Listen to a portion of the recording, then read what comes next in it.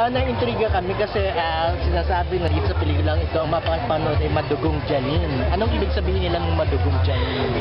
madugo.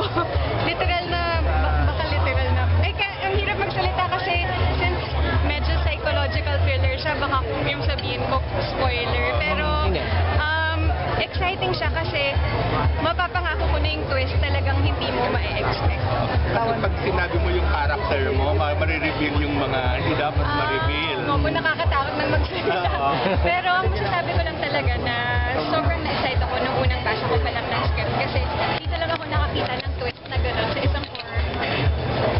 At ah, kumusta yung mga kasama mo rin? Sobrang saya kasi um, Kasi yung, hindi mo laging, hindi mo usually nakakasama.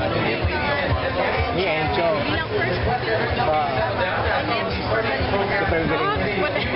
Masasabi mo di, di sa indie nagkakaroon ka ng chance makatrabaho mo sa kabilang network?